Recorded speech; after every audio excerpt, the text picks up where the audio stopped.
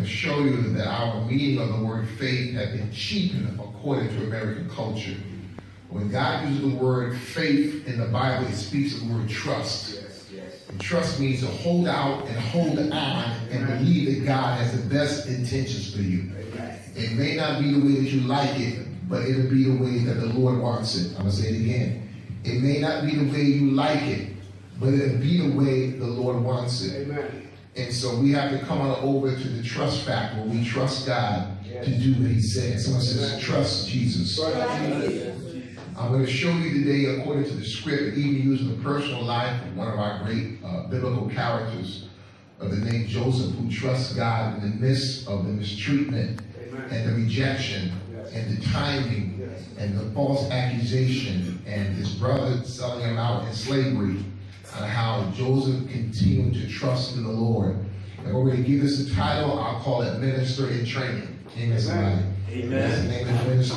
Minister, minister in Training. Yes, yes. And I want to teach you that training for ministry is more than a Sunday morning event. Amen. We have been raised to have Sunday morning events. So we wrap our whole life in Christ around an 11 o'clock church service. Yes. And uh, if people don't attend a church on a Sunday morning, we get very discouraged. We feel like God has left us and forsaken us, which proves we have a mindset that church is an event. Church is not an event, it is a lifestyle. Amen. Church goes on every single day because the church is a people. Is a people that's trained to carry the glorious gospel of the kingdom throughout the global world. Amen. And so we've done this radical challenge to get people to understand that true ministry is when everybody become ministers. Amen. This is difficult to understand this concept, and I want you to be closely. Uh, we've been taught that the minister is the man up front. He's the one that's supposed to cast out the devils. He's supposed to prophesy. He's supposed to throw all at you. He's supposed to knock on the floor. He's supposed to say something to you. And his prayers are greater than everybody else's. What I've come to understand, that might not be the proper model. That's what we've been taught in our church circles because it makes us ego trip. Someone say ego trip. Ego trip. Nothing uh, makes preachers feel better to make them feel like they're the only one touching God because you come in second. this, this, this, this is, it is, you know, when someone puts on a bishop robe or a swinging medallion, uh, some people, won't say all, tend to believe that they give them an extra oomph on everybody else. And I come to learn, when you really, really read the scriptures, there's a few things that do not appear in the script that we just happen to do all the time. Like, for instance, 11 o'clock a.m. worship service. uh, uh, Sunday worship versus Saturday. All right, come on. I'm trying to show how legalism will kill us.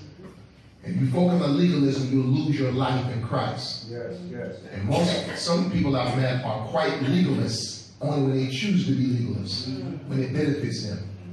But when common sense steps in on the scene, we seem to lose common sense, but we worship at the altar of legalism.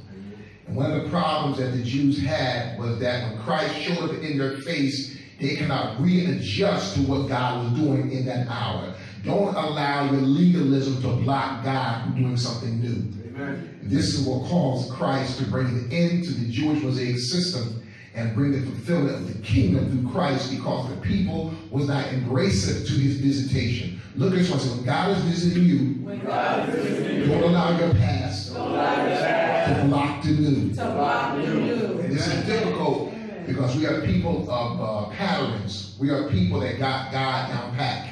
How do you how do you have God down pat? Come on, talk about it. How do you how do you have God in a box? The God that the God that made the box. Say it, Pastor. Come on, say this about it. And because we've been trained in charismatic circles and word of faith circles, we have this thing that we got God all figured out.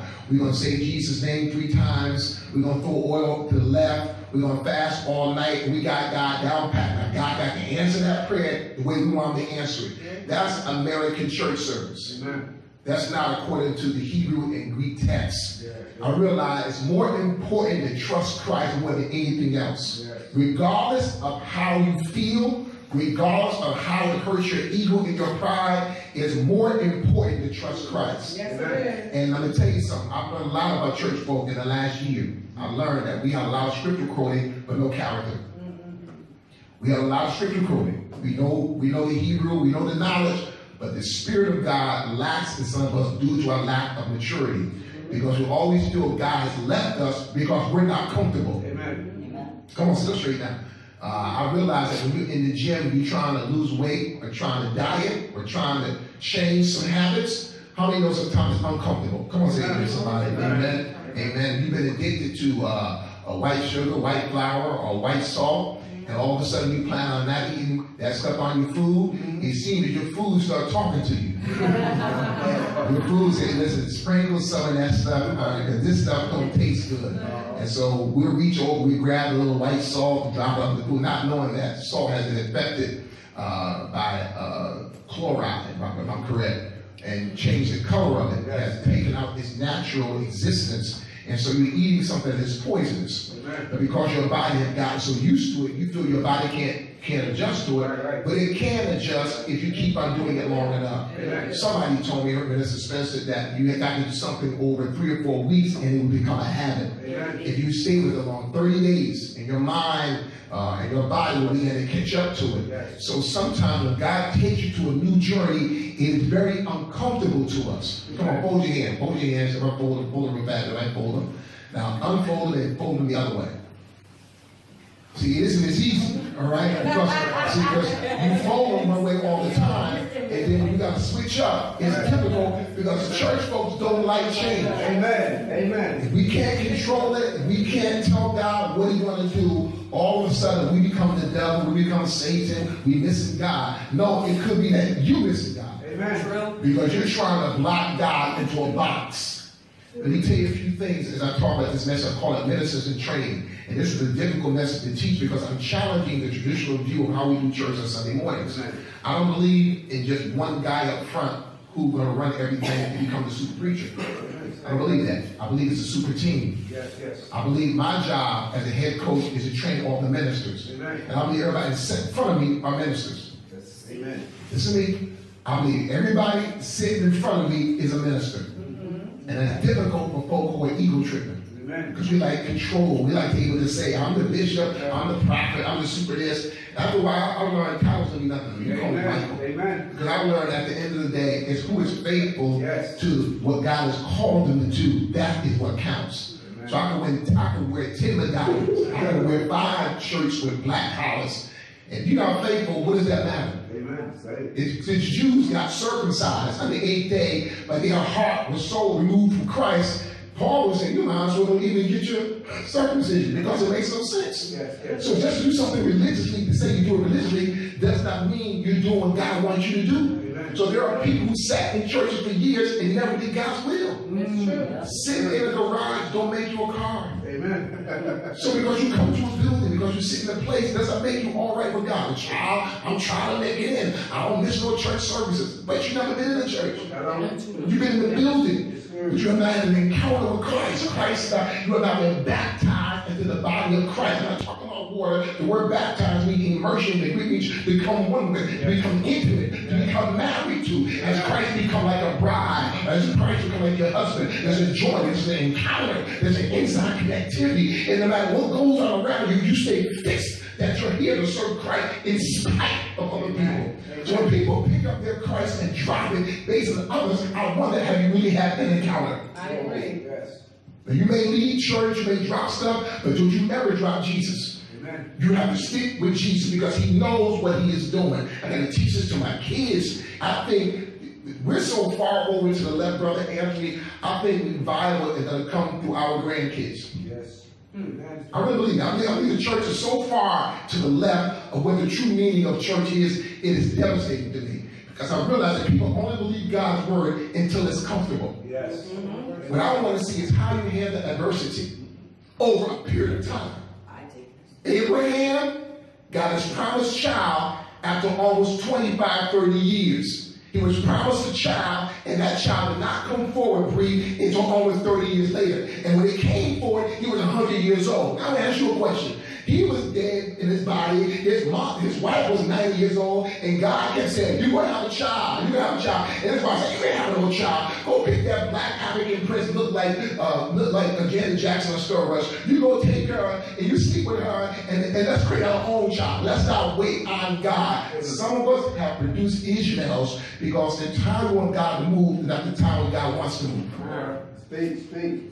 It's a difficult message to preach because I realize the timing of God is the most important thing in the world. So you don't want to rush God. You don't want to make God do something you don't want to do. When your time and God's time comes together, it creates a cross. We talk one time. When your time is when your time and God's time creates a cross, you cross over into your promises. So sometimes you're praying, uh, Sister uh, Mashine, you're praying for for God to do something, and God does not do it in the time you want it to be done. And so you become discouraged, or you see, or you think your faith is weak. It's just that God said, it's not time yet. Amen.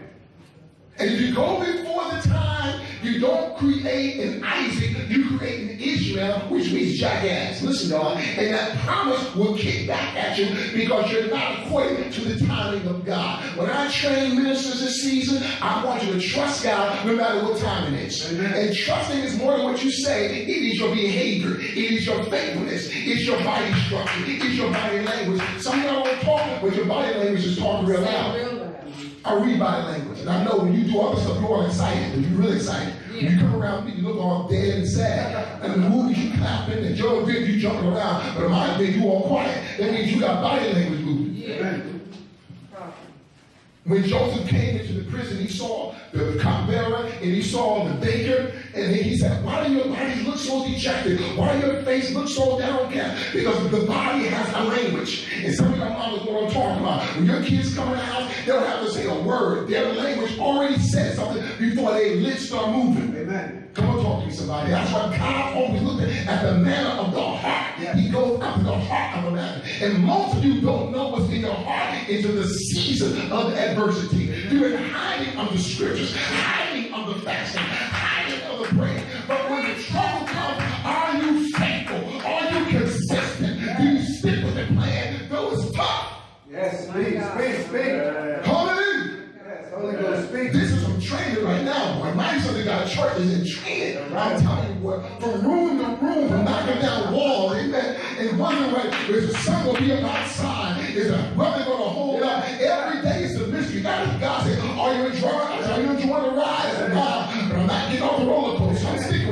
with this thing going down. Because I know there's a blessing in resting. There's a blessing in being faithful and not just procrastinating. This connects back to your vision. Amen. Jesus, my God. Have your way, Lord.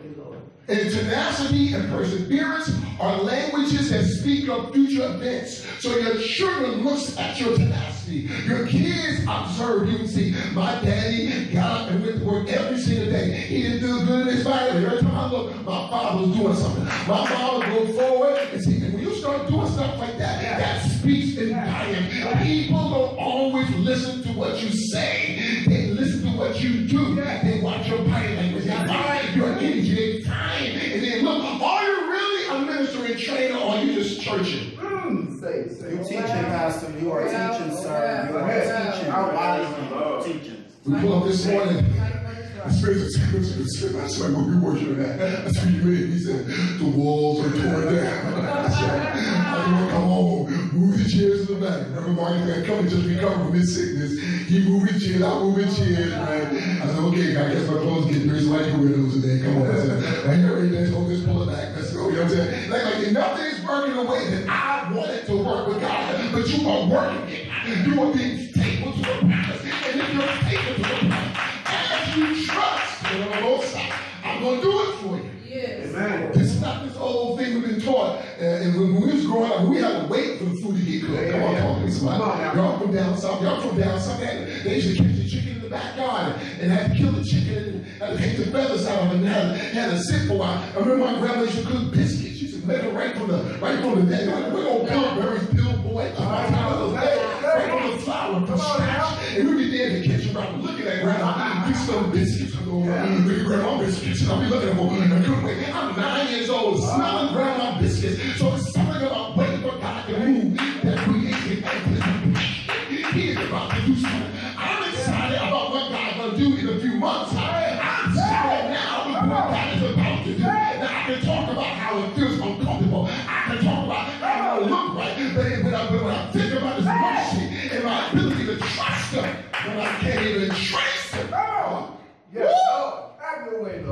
Jesus. Oh, God, can I tell you a true story about a minister in training? His name is Joseph. Come on now. He was trained and never attended a church service. Wow. He was trained by his own brothers, one second. ones that were part of his family, half brothers.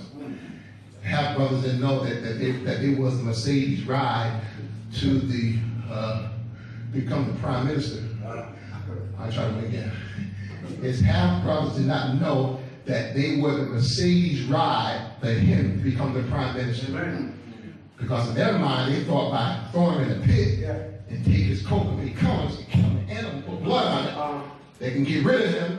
And God, his fathers, treat him above everybody else due to the spirit of jealousy and envy. They thought they got rid of the brother. faith. Not knowing that about 20 years later, they'll be bowing down at him. I'm trying to decide. Woo, I you, almost 20 years later, they're going to show up on his knees Yes, sir. in front of the son that they threw out. Amen. That's why when your enemies do you wrong, don't retaliate. I know that's right. Don't talk bad about them. I know Getting that's clicks right. on the phone. Just forgive them and bless them. And God will cause the very enemies that sat traps up to spin around later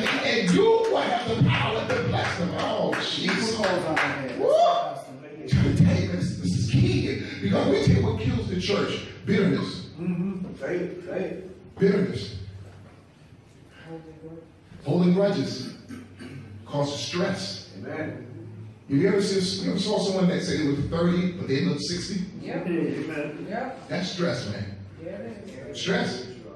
I say this all the time. I repeat it over and over. Dr. King, when they when he got assassinated, they checked out his heart. He had a heart of an 80 year old man because the stress level had gotten him so much. He was a smoker. This is a true story. Smoker.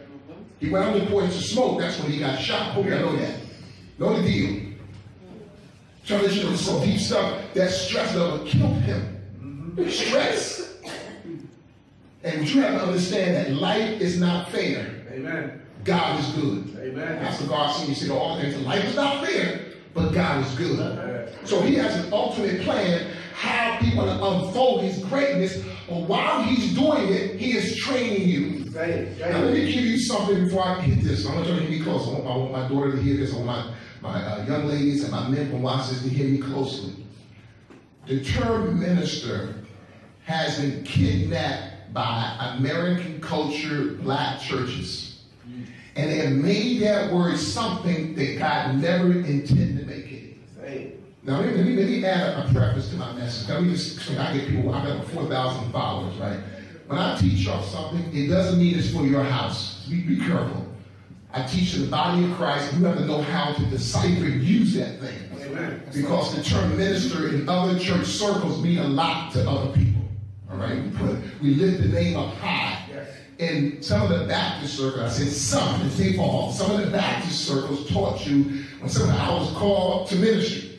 So in their mind, they're going to get a license to preach at the pulpit mm-hmm. and then become ordained, become the assistant pastor. So one day they'll be the senior pastor over that church. And that's in the mind of a lot of Baptist churches that I've been around. So I'm telling you, I've been around. Mm-hmm. But the problem is, you got 10 other folk thinking the same thing. Yeah, yeah. So the pastor gets scared, and he doesn't give you the term assistant pastor. He give you terms like uh, first executive minister, uh, uh, second minister in training. I said, what are all these titles? He is trying to maintain control so he doesn't look like his position will be taken by the assistant pastor. Amen. This is this is the game that's in a lot of circles. Yes. Not knowing that true ministry is not the pulpit. Amen. Very good. Very well.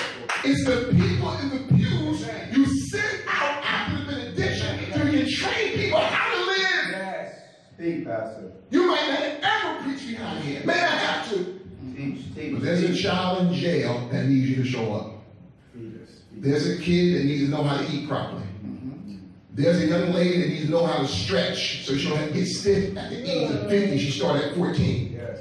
There's someone that, that got that's dealing with mental instability, and God wants to raise you up to reach them. All ministries are not the same. Amen. Amen. And how God trains you is not always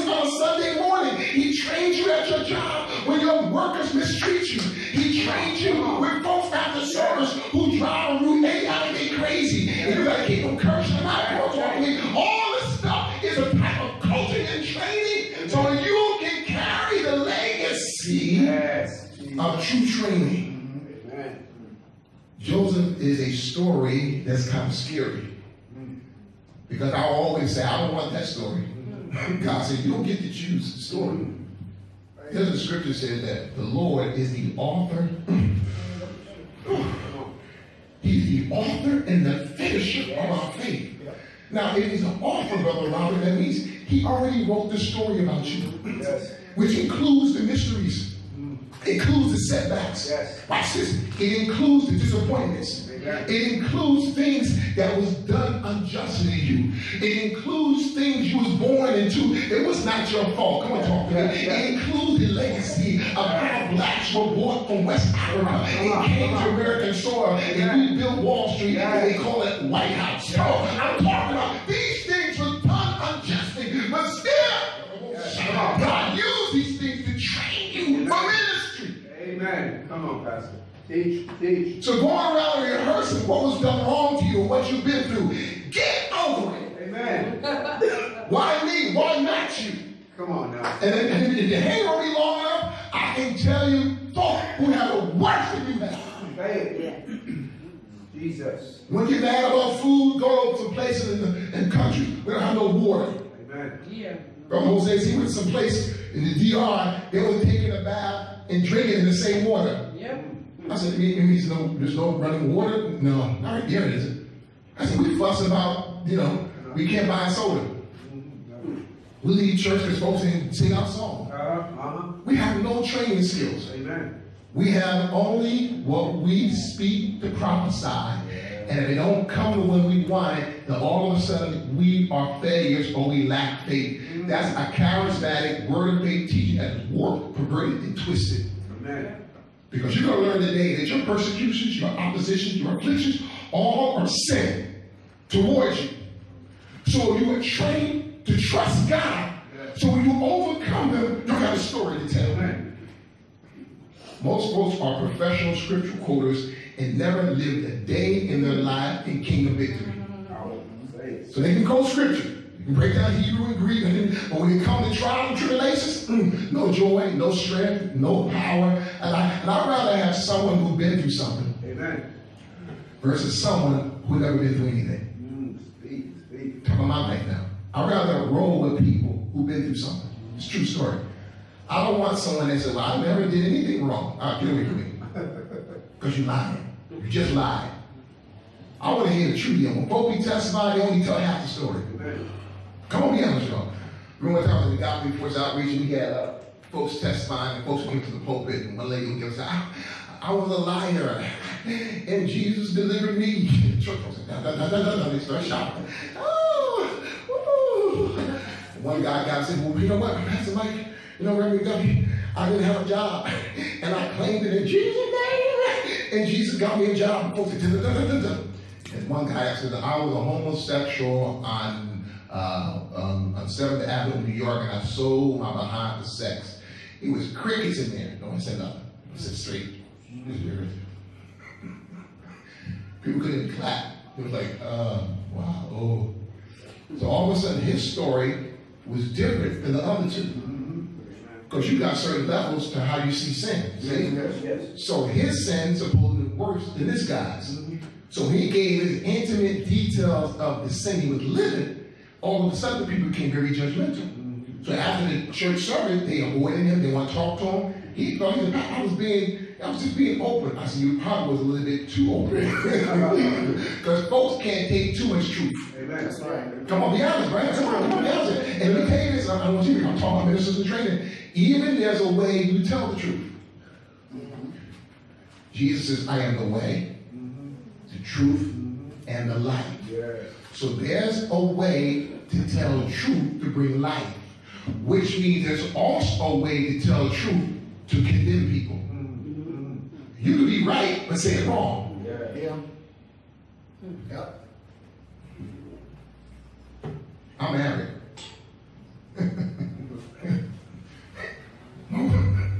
My wife is a dresser.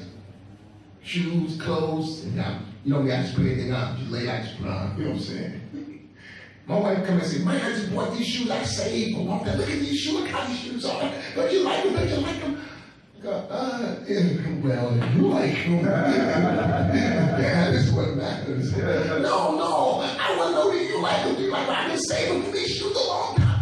I said, well, it doesn't matter what I like. What it matters is Mike. Do you like the shoes? I said, no, I don't like those shoes. You mean you don't like the shoes? I'm overemphasizing my point. And the point is, even when you tell truth, it must be coupled with mercy.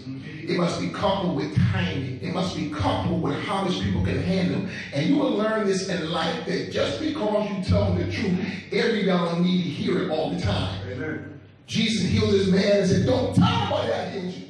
Why would you do that? Because there's certain times not to say anything. You got to hold it back because fools can't handle so much at the same time. Amen. He, he was, he was, Jesus was getting ready for his crucifixion. Just watch me, watch me, Kai, watch me, watch me. I'm your teacher. This is ministers in training. He was getting ready to go to the cross, right? This was the last, they call it the Last Supper, Reverend Marcus. Right? And to be eating fish sandwiches and bread around the table. And you got to imagine about like 12 black people, because they all black, 12 black people. And Jesus stands up and says, all right, we're about to do this thing. what you about to do? When Jesus will take his clothes off. You gotta see, you gotta jump in the story. He stripped butt naked, right? And then took his robe and tied it around his waist to block his private parts. And he gets on the floor and start washing people's, start washing the disciples' feet. So they look at him like, God Almighty, you're the Christ, you're the Messiah. And you get down and start washing people's feet. What are you doing? That's like a low, menial job. How could you do that? He said, because I have come to serve man, though I am the Lord God Almighty. So to the degree you serve is the degree that you lead. Listen, y'all. And we got the hard-headed Peter. Listen, y'all. Peter said, you won't wash me. You don't wash my feet. No, you're not. And then Jesus dealt with him rough. He said, if you will not allow me to wash your feet, you will have none of it.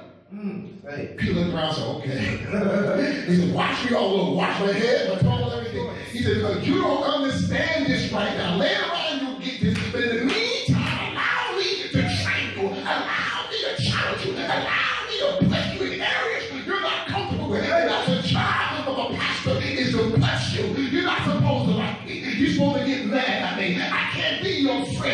I'm blessing you to your destiny. I'm blessing you to your greatness. That's my child as an equiper. Amen. Amen. Any coach that remains friends with the players all the time is not a coach. Amen. Oh, yes. Someone gonna make you mad. Sir. To be.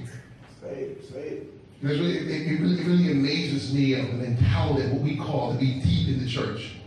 Abundance of scriptures not to make you deep. Because you speak in tongues. That's tongue. Don't make you deep.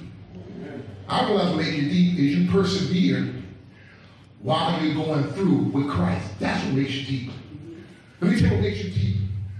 When you hold on to kingdom principles, when life says to let it go, that is what makes you deep. When you consistently stick with Christ, when other options said let him go, that is what makes you. Yes. Say it, Pastor. Teach. Hallelujah.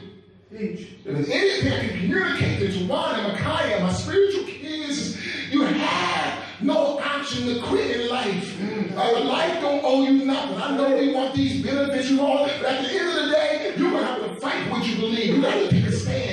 You're going to have to go for yours. And everybody gonna sit around and hear your sad, sad stories every time we see you. Get If you're down to nothing, God is up to something. If you've been mistreated, get in line because a lot of folks been mistreated. It is your job to stay consistent to the kingdom. I'm it. Age, age. Whew. This is some deep stuff, man. Joel's about 16 years old. You taught this.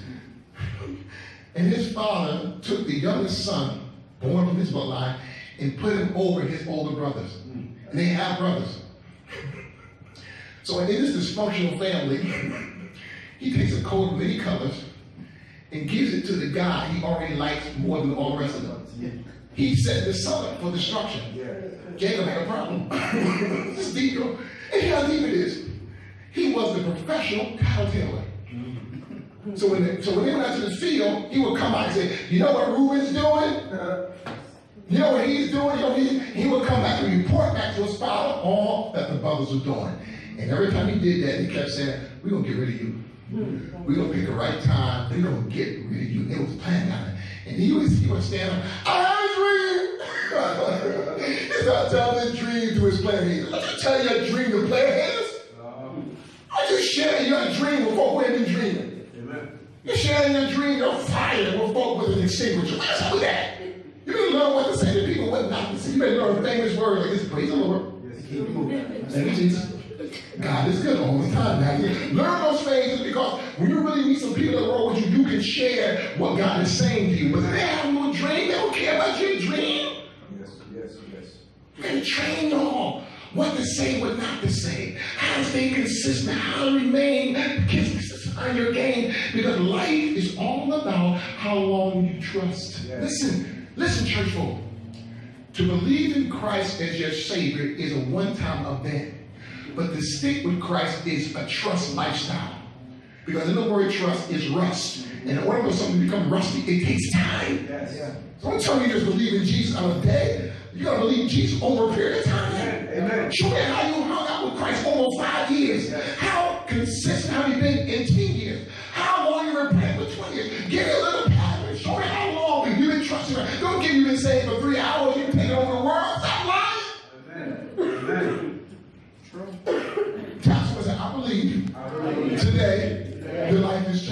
You're gonna learn to stand in there. Stand in there. Come on, clap, clap, yo, clap, clap.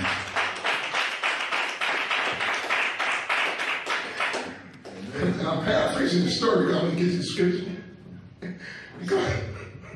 Joseph never knew by telling his dreams to his brothers, he was sealing his fate. My father don't protect me, my father protect me, I don't come up there. And he started telling his dreams to the wrong people, and them brothers was ready to throw him out. He started saying, You're gonna bow down to me, the sun, the moon, and the stars. And these brothers kept saying, they continued to hate Joseph in their heart. I hate you. This was his own family. Enemies are not strangers.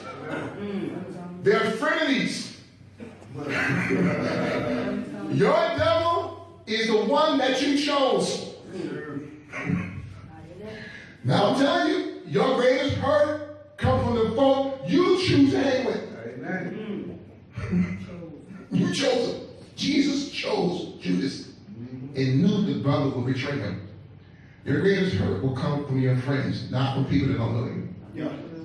Because if they don't know you, it's not going to hurt as much because you say they know me. That's right. They don't know me. But it's the people in your family, your relatives, the folk you thought would support you. They're the folk that hurt you because you realize you're going to do that.